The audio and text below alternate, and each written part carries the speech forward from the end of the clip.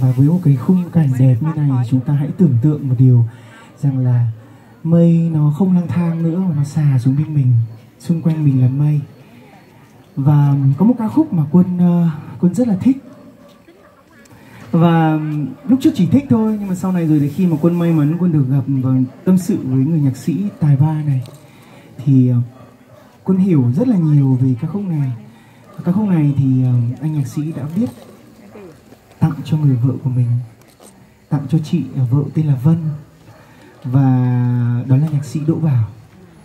Nhạc sĩ Đỗ Bảo đã viết tặng à, cho cho người vợ của mình, chị Vân, một ca khúc.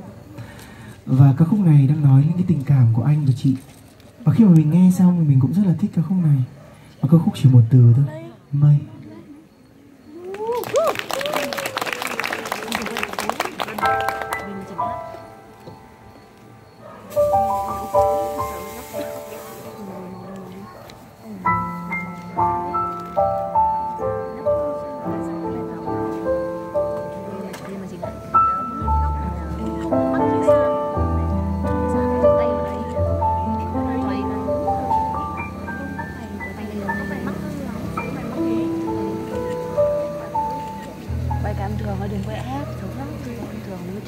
Nếu biết rằng rồi mây sẽ đến.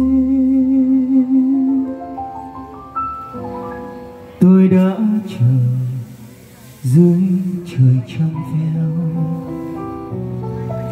Nếu biết rằng mây rất nhẹ nhàng, mây mềm mại, ở đó tôi đã hát ca những ngày bơ vơ những chiều hoàng hôn tím mờ mây nếu biết rằng hương tóc mây gọi mời nếu biết rằng gót chân qua bồi hồi, chẳng như cách mây thuộc về tôi.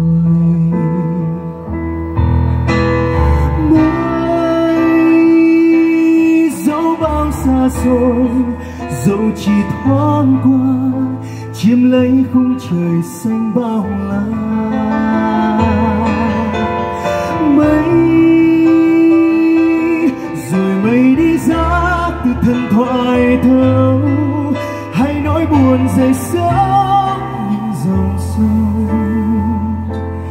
Để tôi sẽ núi chập trùng giữa chúng ta mong mây thấy sự thật về tình yêu.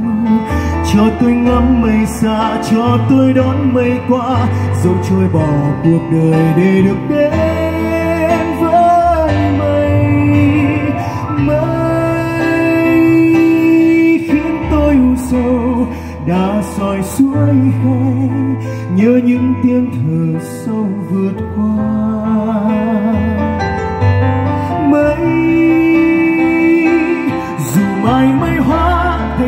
Sương trong vã cho đóa hồng rực rỡ trở về anh. Lòng tôi vẫn ước còn thấy mây xa tôi mơ đón từng chuyến mây qua. Dù khoảnh khắc trở về là khoảnh khắc chia xa, ngày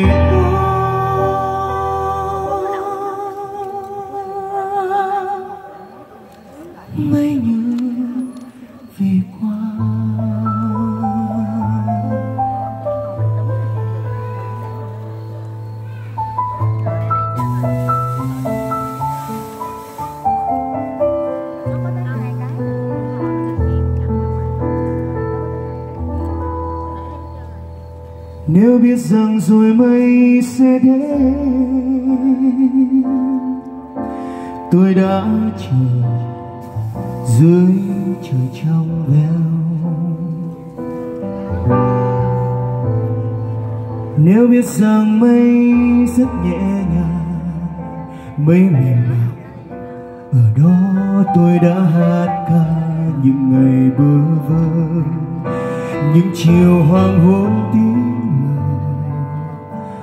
mây. Nếu biết rằng hương tóc mới gọi mời nếu biết rằng gót chân qua bồi hồi chẳng như cách mây thuộc về tôi. Mây rồi dẫu chỉ băng qua chiếm lấy khung trời xanh bao la.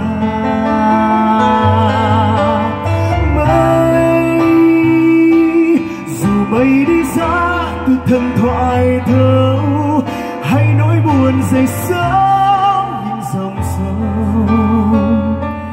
Để tôi sẽ núi chập trùng giữa chúng ta, tôi mơ thấy từng chuyến đi gần. Dù khoảnh khắc trở về là khoảnh khắc chia xa, ngày đó